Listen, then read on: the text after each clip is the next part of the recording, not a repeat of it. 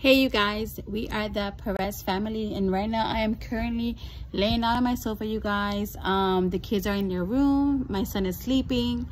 Um, I'm not feeling too well, like my back is hurting. Um, and my, you know, um, currently on my days, you know, as you can say, lady days, you know.